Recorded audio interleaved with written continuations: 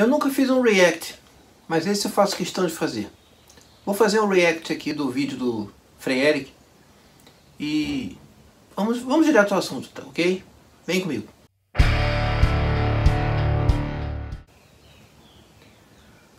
Bom, o Frei Eric fez um vídeo, né, sobre news, sobre notícias, mas eu faço questão de fazer um react aqui, né, uma resposta ao Frei Eric, e já de cara eu já deixo a ele o direito de fazer a react ao react ao vídeo dele.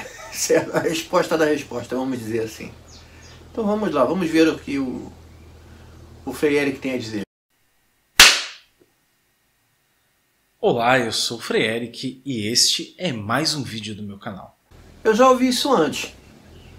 O Frei Eric pirulou aqui, né?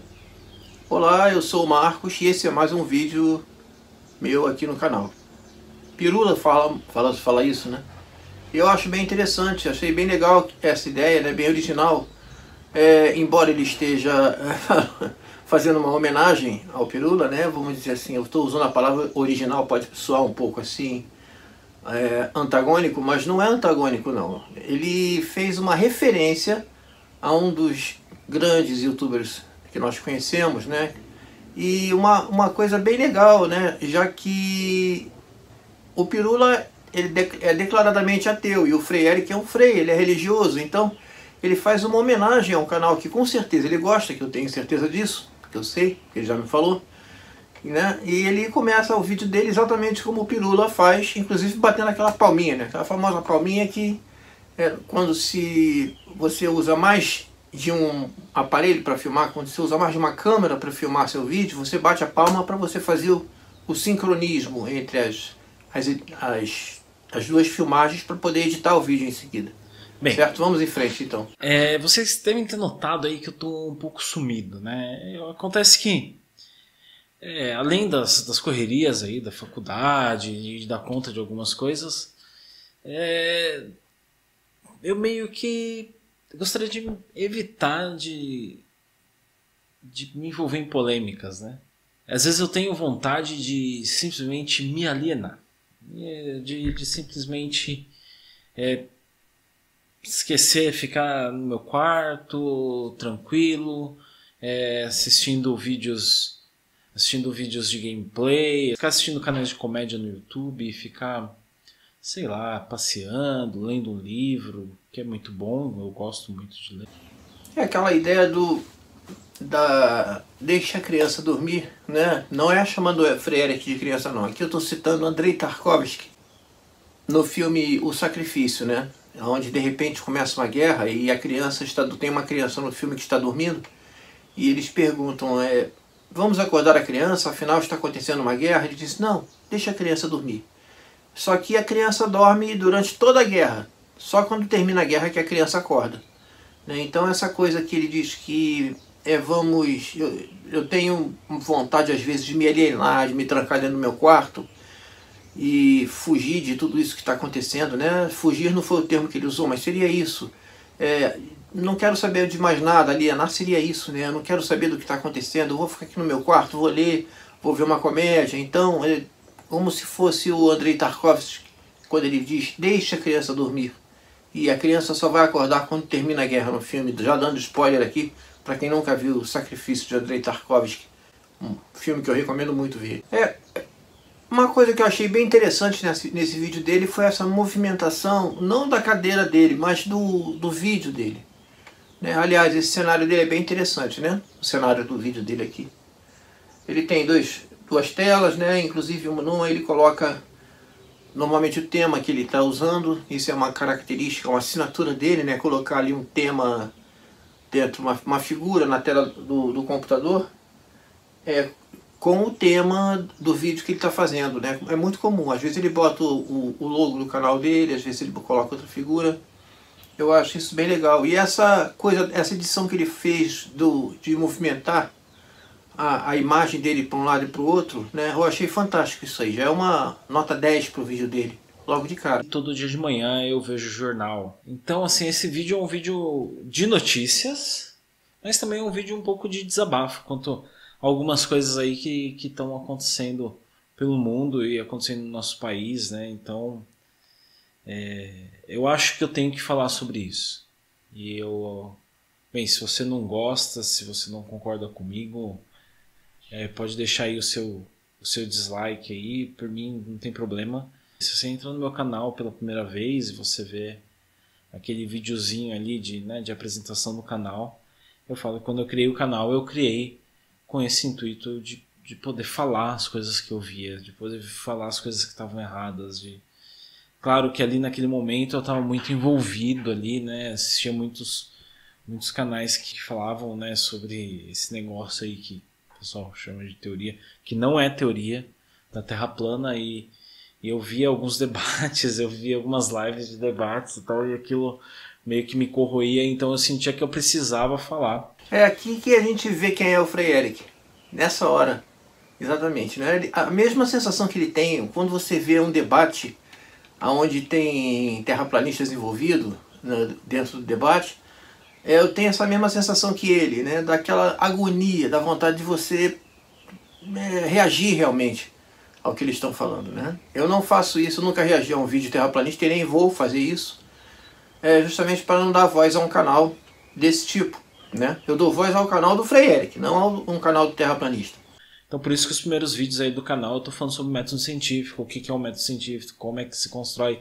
Eu gosto muito de falar disso. Gosto muito de fazer esse tipo de vídeo.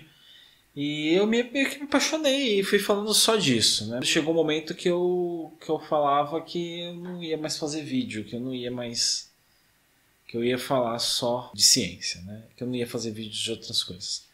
Como um frei, um religioso falando do método científico, né? defendendo o método científico. É, é, é bem possível, gente, é muito possível um religioso ser científico. Por que não? Newton era religioso, vários cientistas famosos foram religiosos, né? Sem problema nenhum isso aí, não há problema nenhum. Tem como separar as coisas tranquilamente, da melhor maneira possível. Então, eu não vou dar voz a um, um pombo daqueles, né, um terraplanista, não. Mas ao Frei que eu faço questão de dar voz, porque eu sinto orgulho de, de tê-lo como amigo e também como fazendo parte da mesma rede que ele, a resistência científica. Né? É uma, ele foi um, um achado dentro da rede, porque ele é justamente uma amostra disso que se faz um Frei falando do método científico. Porque realmente, gente, dá uma agonia muito grande você pensar de um jeito científico e você ver é, um debate com terraplanistas dentro da bancada, terraplanistas no meio do chat.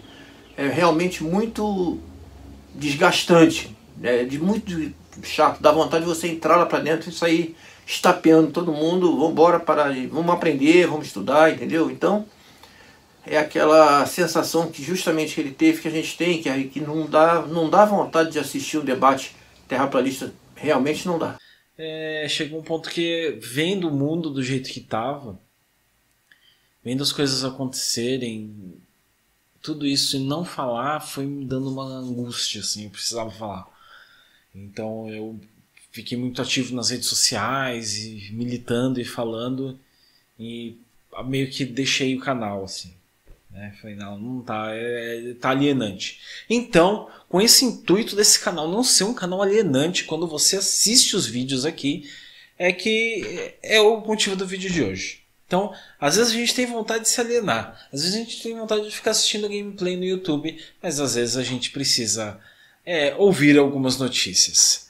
Então, esse é o nosso giro de notícias. Não sei se vai ficar esse nome. Eu já fiz um, é, mas falando do canal, mas esse daqui vai ser para falar sobre o mundo, sobre as coisas que estão acontecendo, sobre o nosso país, sobre algumas situações aí que a gente vê. É exatamente isso que ele falou, né? Ele, é, o, ele tá aqui está desenvolvendo o tema, onde ele não quer parar de fazer vídeo, ele tem, às vezes ele tem vontade de ficar alienado, mas ele não quer parar de fazer vídeo porque ele quer falar sobre isso, ele quer é, é, essa paixão pelo método científico, né? Como disse ele, o próprio a pessoa que ele homenageou no início do vídeo, Pirula, como ele fala que a, o método científico não vem instalado no nosso cérebro não. E quando a gente instala, uma vez que a gente instala o método científico no cérebro, não tem como desinstalar, não tem como desver, não tem como desaprender, vamos dizer assim. E a gente fica chato, a gente fica chato. Por quê? Porque a gente começa a cobrar evidências, começa a querer evidências sobre aquilo que a gente está ouvindo, não é qualquer coisa que a gente acredita. Por um lado, é muito bom, é muito legal, a gente não cai em qualquer conversa, a gente não cai em qualquer fake news, né? Mas a gente fica chato com as coisas. Mas faz bem, faz muito bem ter o método científico na mente. E preparem-se, preparem-se para quebrar muitas barreiras, certo? A primeira notícia é, que eu vou dar, eu não lembro mais. Deixa eu ver se eu acho. É, antes de eu ir para a primeira notícia, eu vou dar um tempo para você. Você vai descer o vídeo. É, se você está no celular, tira da tela cheia. Você vai lá e vai dar um like no vídeo. É, isso vai se inscrever e vai ativar o sininho para receber notificações do vídeo. Porque muitas pessoas vêm no canal e eu consigo ver isso, e muitas pessoas que vêm no canal não são inscritas. Né? É, eu não deixo, eu não deixo mais. Eu deixo, teve um tempo que eu tava besta e deixei bloqueado, mas eu não tenho vergonha de falar a quantidade de inscritos que eu tenho, então tá aí liberado. Hoje, enquanto eu tô gravando, tem 161 inscritos. Como eu tô gravando na quinta e o vídeo vai estar tá no ar na sexta, talvez é, tenha mais, espero que tenha mais. Mas assim, se você está assistindo esse canal ainda não é inscrito no canal, desce aí e se inscreve no canal. E já deixa o like aí para ver que vocês estão assistindo pelo menos até aqui o vídeo, né? não sei. Mas o like ajuda o vídeo a, a ganhar relevância aí pro, pro YouTube. Então é, o like e a visualização ao vídeo até o final ajuda aí o vídeo a ser indicado para mais pessoas. Né? Se você gosta do canal, se você chega aqui e assiste os vídeos, nada mais justo do que você se inscrever.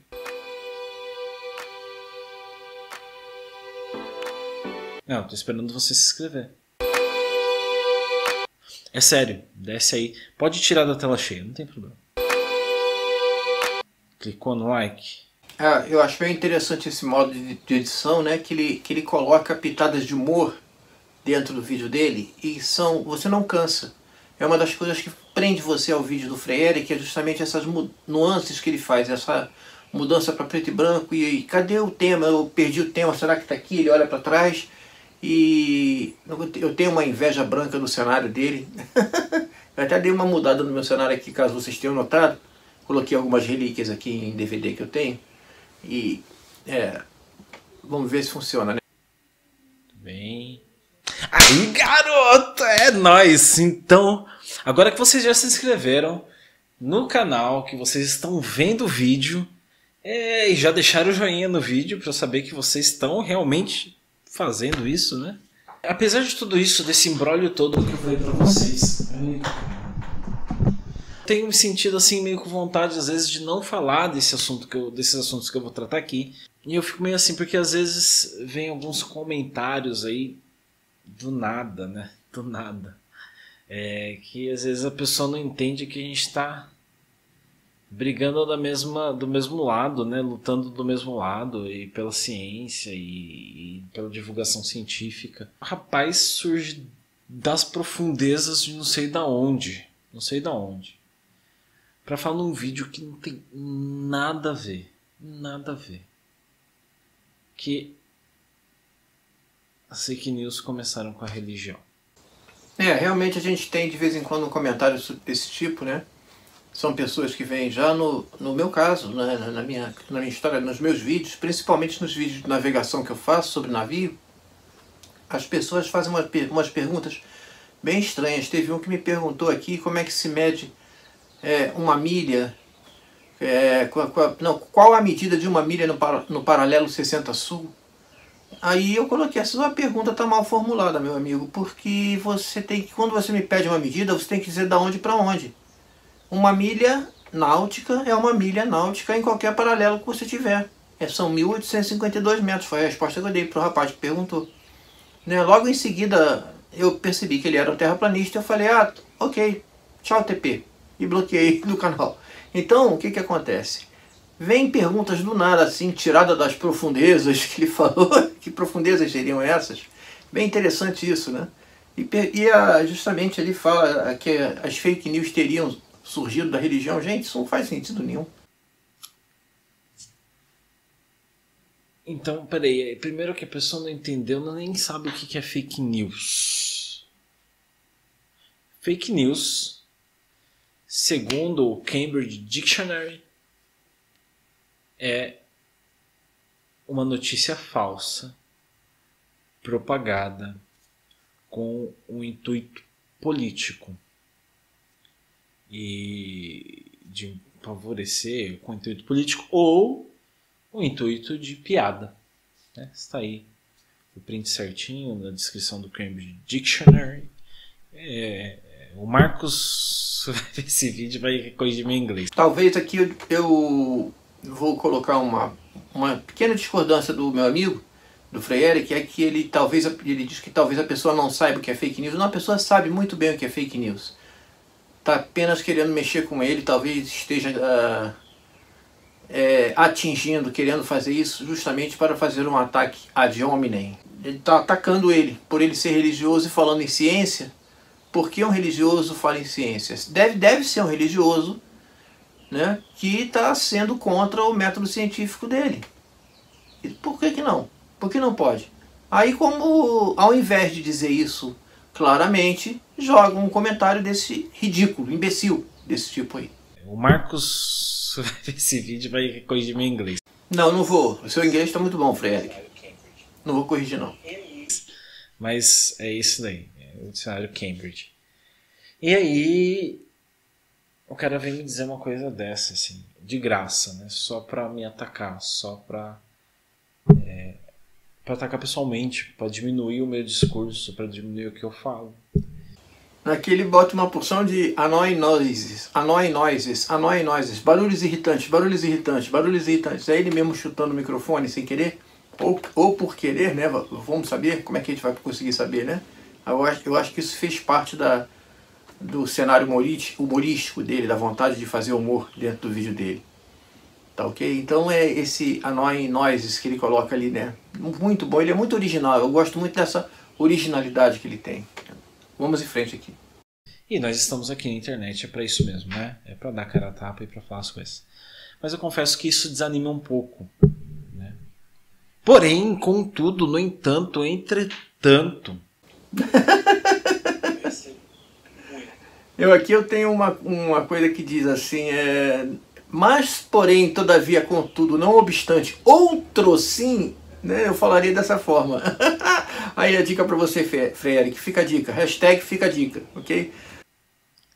Eu recebo muito, muito carinho de todo mundo. Então é isso que me move, é isso que me motiva a vir aqui e a falar com vocês. É a vir aqui e abrir, e abrir o meu espaço, abrir momentos do meu dia. Tem alguns youtubers, algum, algum pessoal da divulgação científica aí que dá umas respostas bem atravessadas. Eu vou fazer uma coletânea dessas respostas atravessadas, vou fazer um vídeo só de respostas atravessadas. E aí vale também para essas pessoas que vêm aí com esse intuito só de diminuir o canal porque eu sou religioso e que não tem nada a ver. A gente já falou disso aqui algumas vezes, né? É, Vamos aí, então, giro de notícias. Para quem não conhece, essa música que ele usa chama-se Steps, é o toque do silêncio. Tá? É uma interessante coisa, só dar uma pausa aqui. É o toque do silêncio, né? Como se for giro de notícias. Vocês lembram de, do Chico Buarque, a música Cala a Boca Bárbara, que veio da peça Calabar, o Elogio à Traição?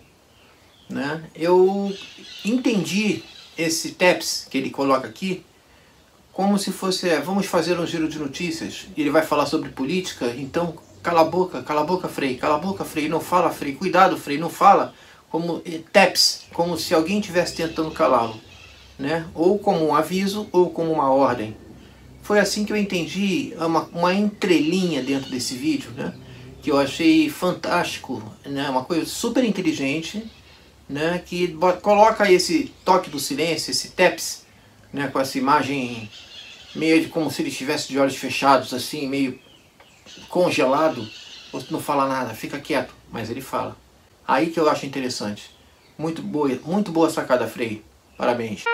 Esses dias, o filho do nosso querido presidente, o Carlos Bolsonaro, fez uma declaração extremamente infeliz. Oh Jesus! Uma declaração assim que eu não espero muita coisa. Eu confesso para vocês que eu não espero muita coisa não. Mas a declaração do cara é um pouco perigosa. É claro que tudo dentro de um contexto da fala dele. Essa fala que eu estou trazendo aqui foi recortada do que ele estava falando, mas ele disse, em suma, que se a esquerda é, pressionar o governo em determinado ponto, é, a história vai se repetir. Teremos aí um novo AI-5. Bem, não à toa eu trouxe para o cenário hoje o livro do Hélio Contreras, AI-5.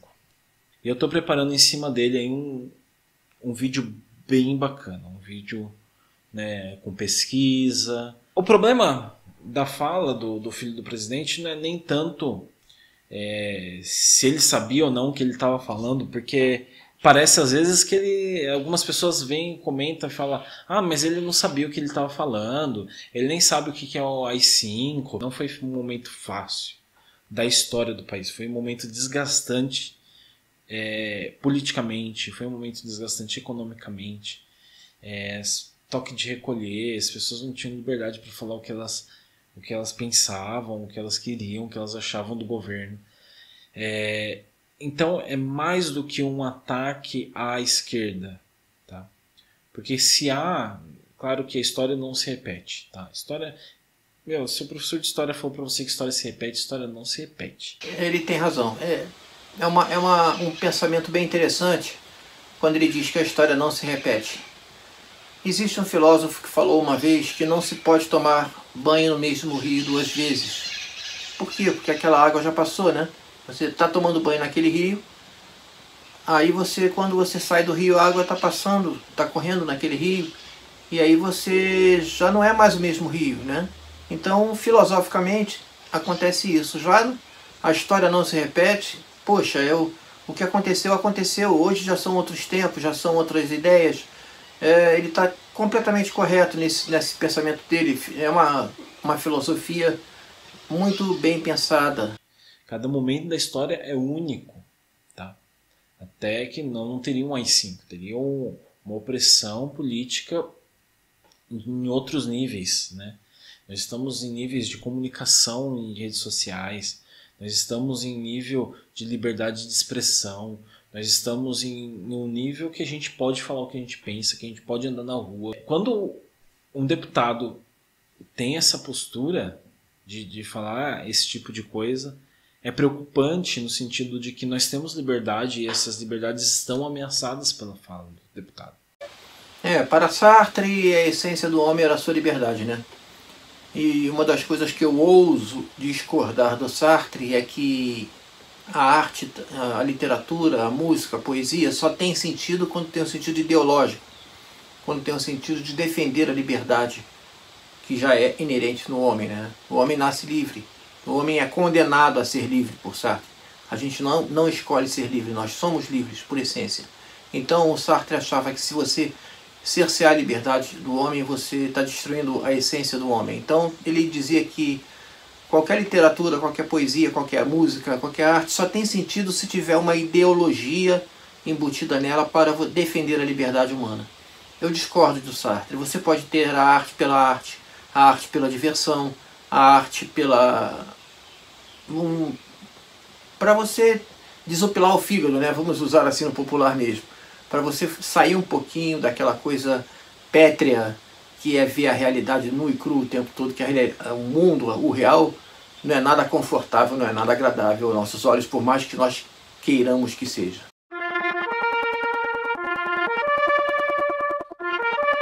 Falando em liberdade, falando em liberdades republicanas, hoje, dia 15 de novembro, a nossa república comemora 130 anos. É, realmente é uma comemoração muito bacana quando a classe média. Bem, o que, que aconteceu? Eu estava gravando, o vídeo parou, eu terminei de gravar, e a hora que eu fui ver o celular estava desligado.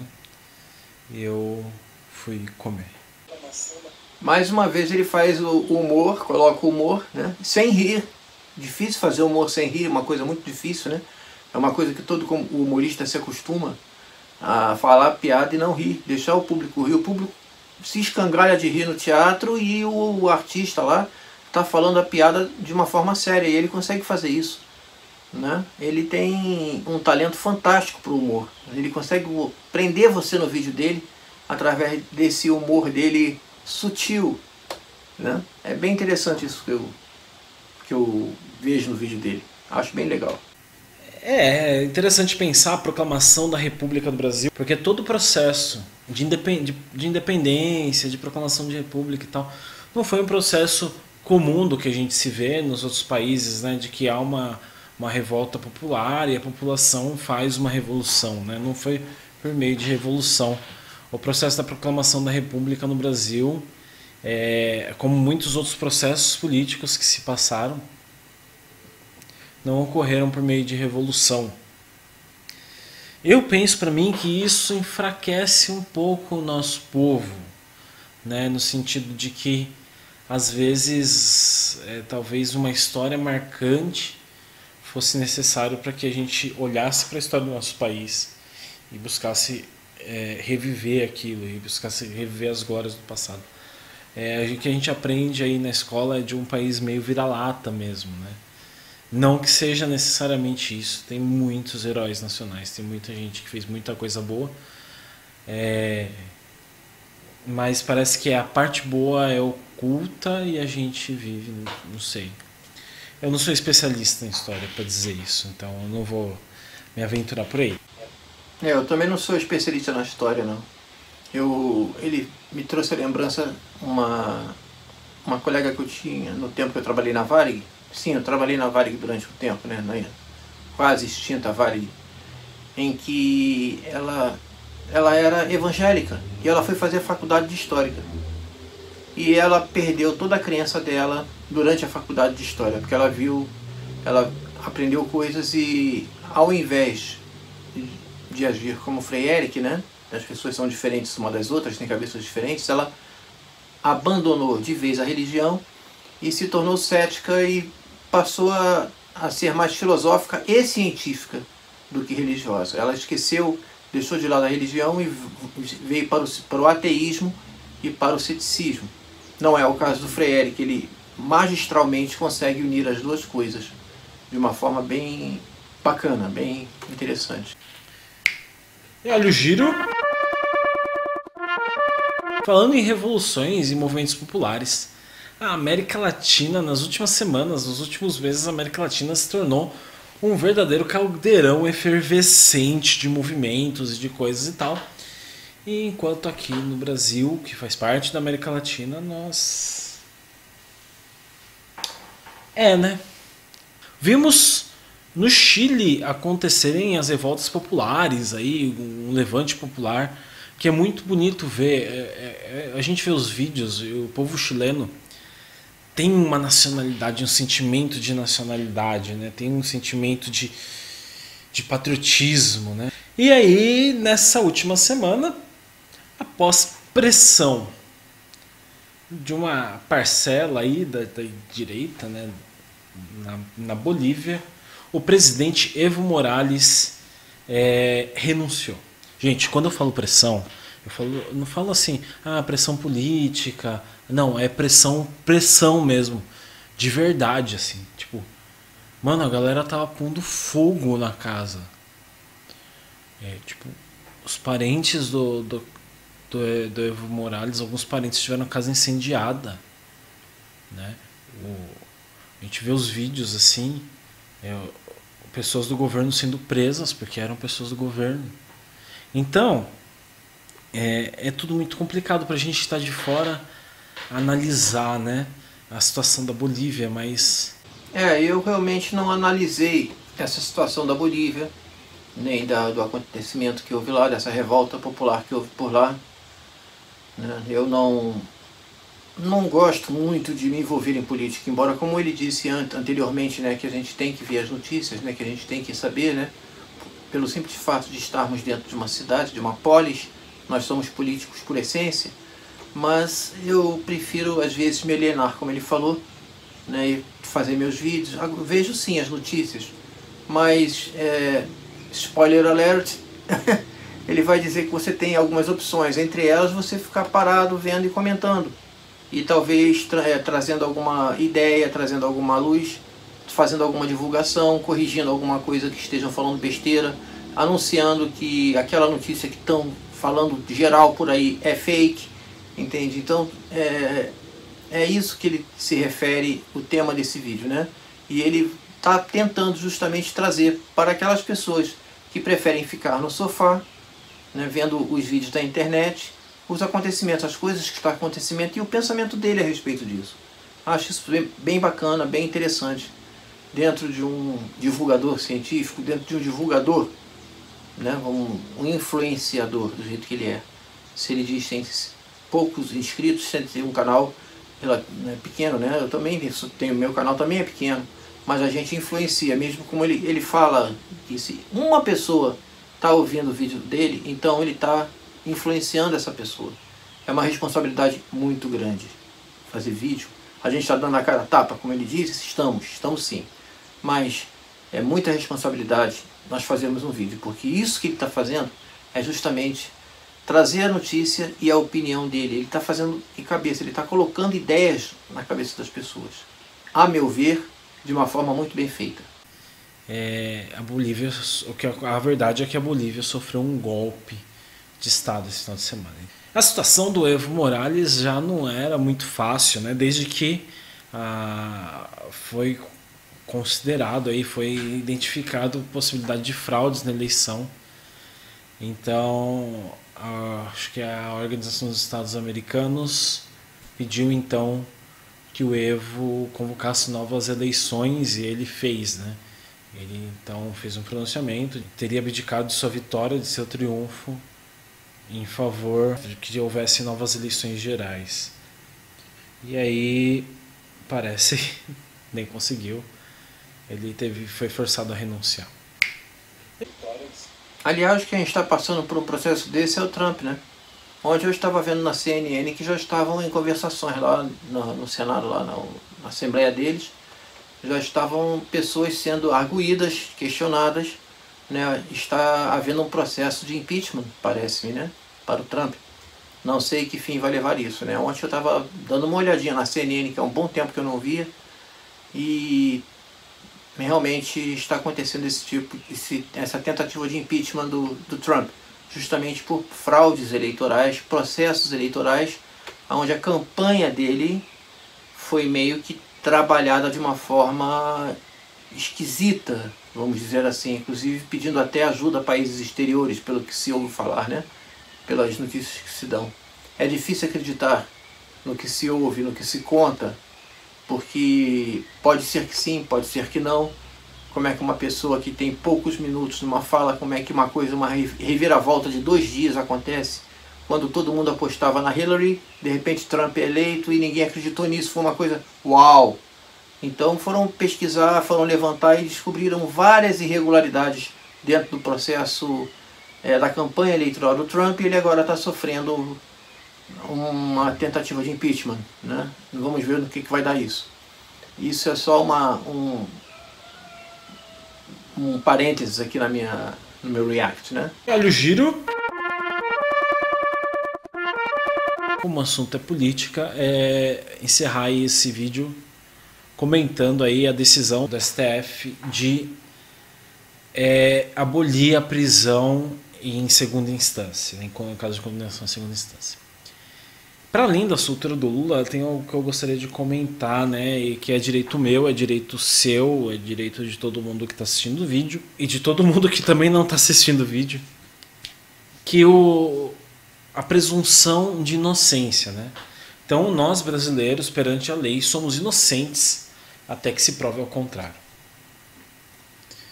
E, e isso permite que possamos é, acompanhar nosso processo, se a gente for processado, se a gente for acusado de alguma coisa, a gente pode acompanhar nosso processo, preparar nossa defesa, tudo isso em liberdade, essencial para o Estado democrático de direito. Isso pouca gente está falando. Né? É interessante todo esse processo que o Brasil está vivendo também.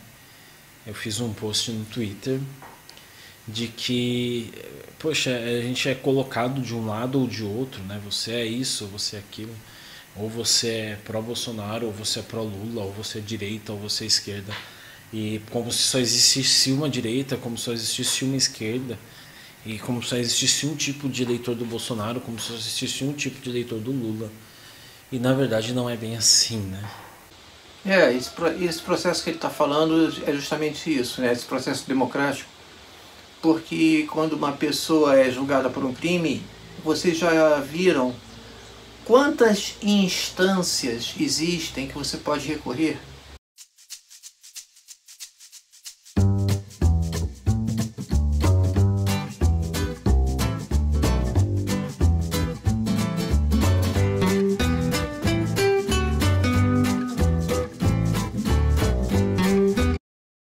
Hein, pessoal? Esse negócio aí que o STF resolveu aí é, na sexta-feira de noite, que diz que todo mundo pode sair, o Lula já saiu. Isso aí também vale para os casados sair assim na sexta-feira? Por favor, aí alguém mais esclarecido do grupo podia dar uma orientação para nós? Não, só para quem está casado não vale não. Para quem está casado, você pode escolher o regime semiaberto, né? Você sai de dia para trabalhar e volta para casa à noite. Aí você pode escolher esse. Na verdade, para os casados não tem jeito não, sabe? Porque o namoro é, é primeira instância, noivado é segunda instância, casamento já é terceira instância. Então, se foi condenado em terceira instância, meu filho, é prisão mesmo, não tem jeito, é prisão perpétua, não tem jeito mesmo. Mesmo depois que você morrer, a hora que a sua mulher morrer também, ela vai estar lá junto com você. Não tem escapatória não, é definitivo. Né? Você é julgado a primeira vez, é condenado, aí você pode ir para a segunda instância, é condenado, pode ir para a terceira instância. Ah, ou seja, você tem umas 14 ou 15 ou 19, eu não lembro bem, alguém já falou sobre isso no vídeo que eu assisti aqui, é, nós temos várias instâncias antes da pessoa ser presa. Então, essa coisa, a não ser que a pessoa seja um psicopata declarado, que tenha que ter uma prisão, uma prisão preventiva, né? Mas é, a prisão em segunda instância, o que o pessoal tem que entender, é que não se pode prender alguém em segunda instância enquanto a pessoa ainda tem recursos pela nossa lei, pela nossa Constituição, ainda tem direito a recursos antes de ser condenada e presa. E quem for contra isso, né, que aquelas pessoas que acham que não, porque bandido bom é bandido morto, porque tem que prender mesmo, tem que ser preso na hora, eu espero de coração que não aconteça com ninguém da sua família que seja inocente.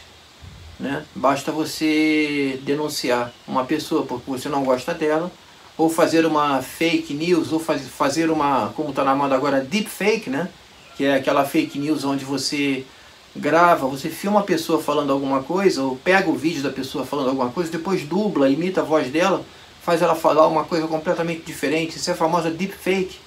Como tem vários tipos de deepfakes que você acredita na hora e sai repassando aquilo de uma forma e daqui a pouco a pessoa que é inocente está sendo linchada na rua pelo povo.